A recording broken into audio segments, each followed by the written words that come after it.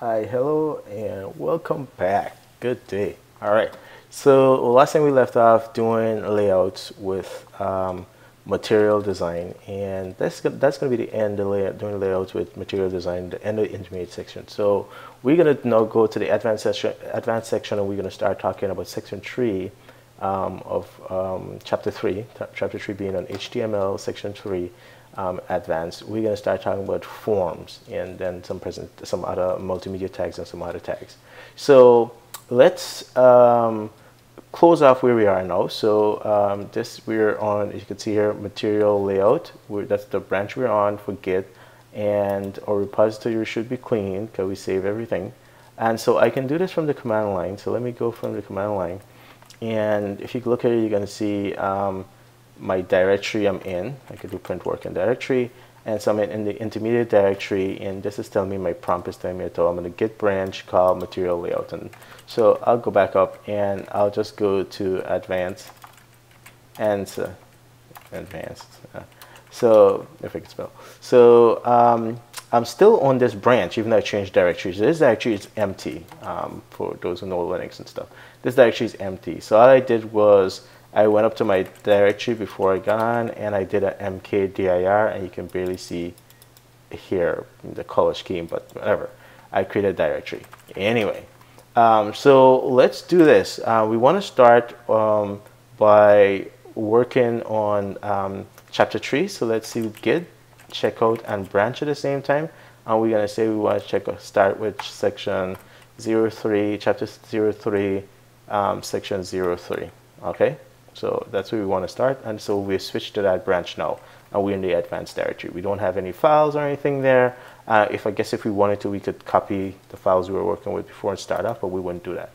So um, what I want to do though, before I continue, um, you know, here is kind of reset a little bit. And so let's reset a little bit. And so we're covering HTML forms, and I figure one of the things to do is to just say, let's get um, idea what we were talking about. And so this is a paper form, and you can see there are lines here with some label that says, you know, put your name here and your address here and so on. And you obviously seen this before. And so why am I showing you this? Well, I kind of want to show you different paper forms and some of the um, things you might be expected to fill in. Like here, you just see some text box, some lines to fill in. Here you see a checkbox, right? That's different. And so um, basically what a form is, HTML form, is a representation of a paper form. And then because it's digital and it's online, it gives you some more things that you might not have on a paper form. For example, you can see list and drop down boxes uh, on a digital form, HTML form, and that's not possible with a paper form. Well, and you've seen those before. These are your, your forms on a website where you can like select city because they're pre-populated with a number of choices and you have to select from, from that. And you have things like progress, progress bars and so on, labels you can use to present information to people. And you suddenly have buttons. And okay, so that's my son in the background. He's downstairs and screaming. And so here's an example of a digital form. And you can see there's a checkbox and there's the boxes for you to type things in. It might show up as boxes or lines.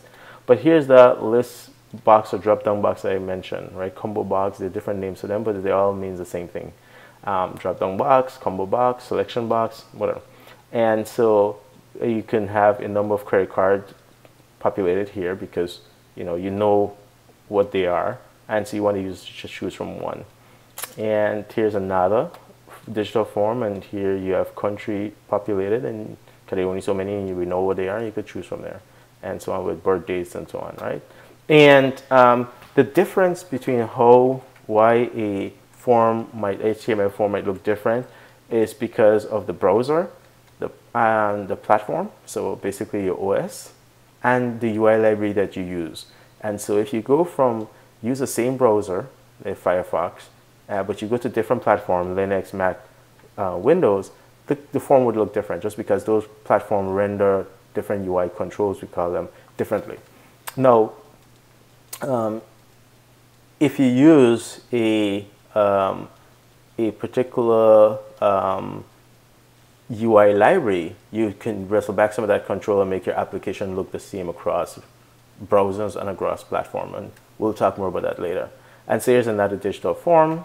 And so here's how you write a basic HTML form. Um, and so um, you just use the form element and then you nest it in it some form control tags, right? So for example, you have the label tag and there's for attributes, give it the value and the value just happens to match up with the name, the value you give for the name attribute here on the input um, element. And so that would give you a very basic form. And so you see three form controls already, label, input, and button I allow you to take actions. And so this type is submit. You can have reset button and there's the label you give to that button. And so if we go over here and we see what this might look like when it's rendered, here's our label, there's our box so we can type in and that's the save button. So that's the basics of form. So let's get back now and actually do it and put it in code, right? So uh, let me come back now with um, my screen laid out a little bit better. I have switch monitors and we're gonna do just that. Okay, so let's pick up where we left off. Okay, so um, we're back now at our code and this is where we left off. So let's switch directory to our, we want to say open folder and go to our advanced directory. So we can go up one and then we're going to choose advanced. And so there's nothing here, no code, but I'm going to say file new and I'm going to call this file um, actually when it's ready to save it command save I'm going to call it index.html I have some code here I'm going to paste in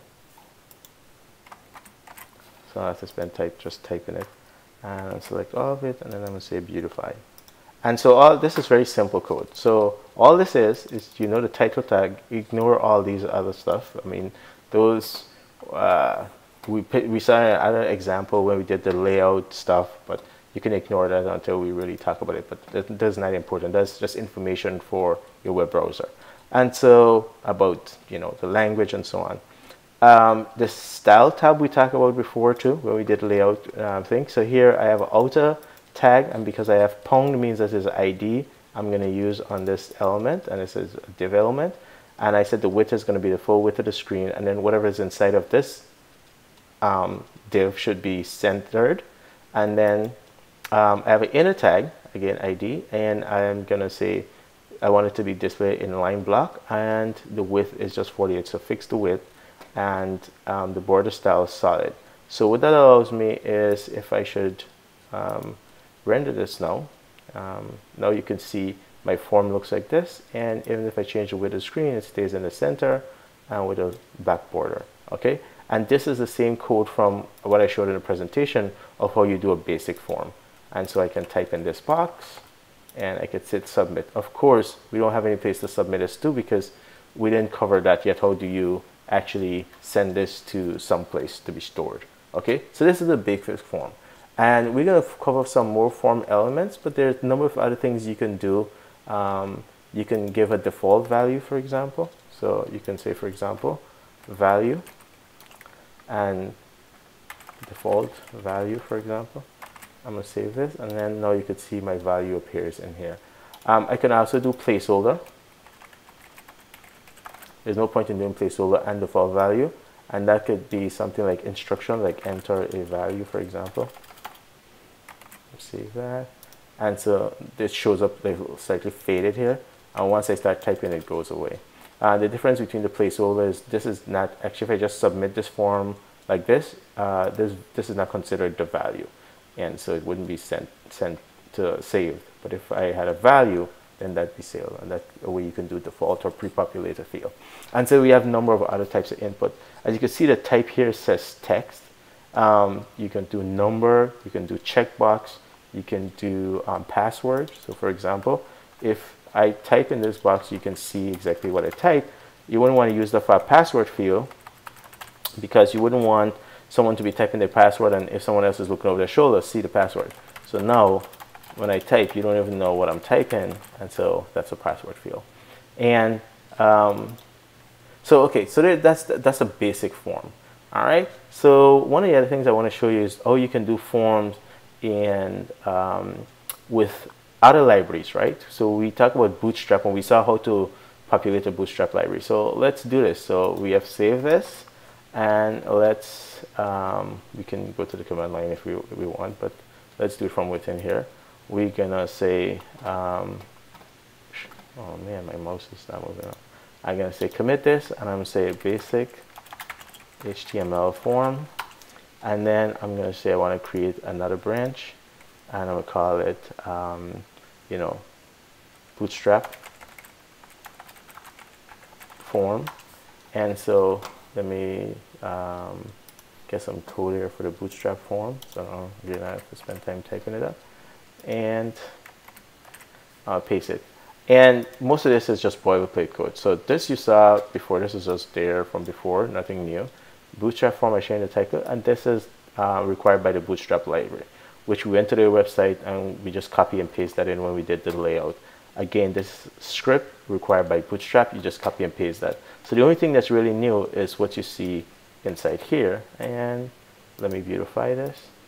And that's basically now we have a form we talked about this when we did the bootstrap. You could do container container fluid um, and then I have a row. Because in bootstrap you have to say row and a cell. I'm gonna say my cell is you know I could say take over the entire screen or I could say it's MD6 and then column that MD dash 3 dash I think offset is one of the things we can do to say that oh we want to center it um, so um, I'm not getting that sense. But anyway um, what, what, did I do wrong? Anyway I have to look it up. Um, maybe it's offset dash tree. I, I, have to look it up. Um, so that's not the important thing really. What's important is that you can use another library to um, to do your layout, right?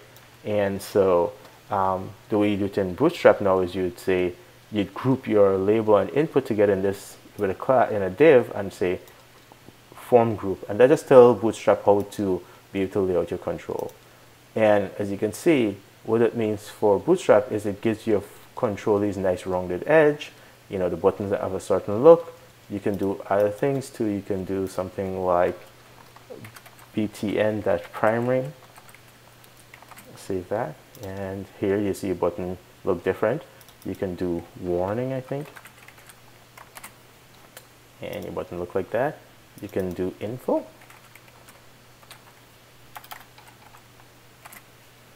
Right?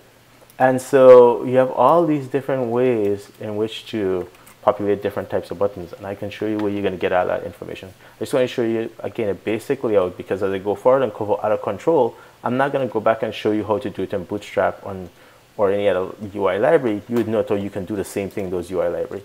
So let's see where you find this information about Bootstrap. If you remember we went to getbootstrap.com and it says getting started and it told us what to put there right and that's exactly what you see I have on the other page right um, but if you look at CSS and you scroll along and you look at forms, they tell you how to do basic forms, right? You group inside form, you create a div and you group label and input and they show you different kind of examples of email and password and files and checkbox and so on, right? And to show you inline forms and the other things, right? So you can see horizontal forms, you can see how to space it. So there's the example of how you do it. Um, tons of different type of thing. Help doing help text, buttons. Here are your buttons, basic buttons and links, right? Buttons and links. And there's your default button, primary and so on. I showed you some of them. I didn't show you success. Right? I didn't show you danger. But those are examples, right? Um, and then you can even do very fancy things like this, right? Um, being able to put checkboxes and you know, at sign or a dollar sign in front of something if you want somebody to enter, give them hint about what they're entering, um, they're going to be entering. All right, and you can also go to components and find even more information on um, doing button groups and input groups and so on, right? And so you can do things like this, right? So that's that's Bootstrap, and that's where you find that information. Now, the last one I want to show you is uh, material. So um, let's commit our changes, and this is modify commit and this is bootstrap form and let's do create a branch call it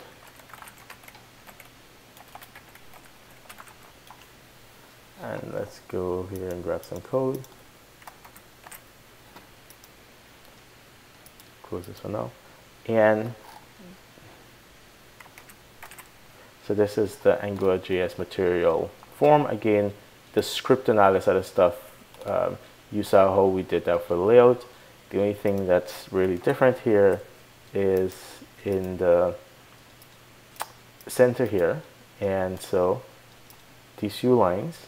And so for boot for AngularJS material, you say I have a layout and it's going to be columnar, you know, up, um, up and down. And then inside that you have a form and then you have input control, just like how Bootstrap have a div and then you say input group. Here you say MD input container and within the container you have a label and you have input, uh, MD input, uh, you have input, you're to use MD input. Then you have a button and now we can take a look and see how our form looks now using this library. I'll refresh. And very different, right? Look at this, the, effects you get. So both, so just using pretty much the same thing, you can do, and this is where you, how you control the look and feel of your form or application across browser. Because if you use Bootstrap or you use Material, even if you go to different platforms, you know, Linux, Mac, whatever, and you use different browser, they are going to pretty much look the same. So how do you get some information on AngularJS or material at AngularJS?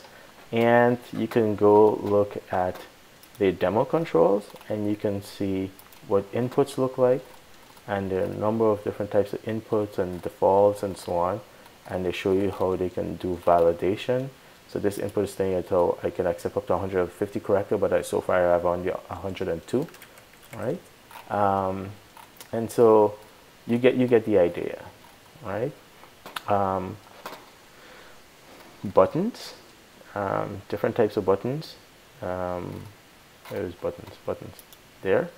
Um, show you different type of game, primary button, warning button, and so on. You don't have the info button, but you can style your button however you like to convey the meaning. So again, um, right now the example I have the button is kind of flat. Even though you move over it you could see it. But other than that you, you don't see it. And I can do class equals md raised. And if I save that you see now my button look a little raised. Um, actually that's not it. Md raised. Okay let me see refresh. Okay there we go. See my button look raised now um, it got like a border around it. I don't have to put my mouse over it to see if it's a button. Um, and then I could do md-primary I think that also um, work when I refresh. Yep. So again, yet another way to do things. So I've shown you basic forms. I show you how to do basic forms in Bootstrap, basic form in um, AngularJS material. Next, I'm going to show you even more form control but it's going to be the HTML form control and then now you know where you can go to find out how to do. When I show you checkbox in HTML you can say oh I, I think that looks boring. I want to use this checkbox. Well come here and look and see how to do this checkbox. Well you can look at the code here if you like view code or you could just scroll down see demos. Um, it says directives. You scroll along and you can see here checkbox MD checkbox or whatever it's gonna have right um, MD checkbox. So you can see exactly how to put a checkbox for a thing. And you can do the exact same thing here for Bootstrap, right? Just go look up how they do um, checkboxes if they have any checkbox control, right? All right, so that's it. And I'll see you in the next video uh, where we cover more of these using some basic HTML control. If you anxious and you want to go ahead and research this yourself, you can go to W3C School here and then HTML reference. And then um, just an alphabetical listing of the controls. Um, and you can look for form. There we go form. And then uh, they show you some of the form elements right? Input area button select option option group label. And then you can play with it because from right here if you want to see what the area text area one look like just click on it and they show you how to use text area if you want to see how to use option group, click there. You want to see how to use a select, which is a drop-down combo one I told you about. You can click there and they show you how to use it. right? All right, so see you in the next video and take care, try these out. Bye, let me know if you have any problem. Oh, before I go, I'll just commit my changes here on this branch and commit and then I'll say angular js uh, material basic form and bam and um, that's it. See you in the next video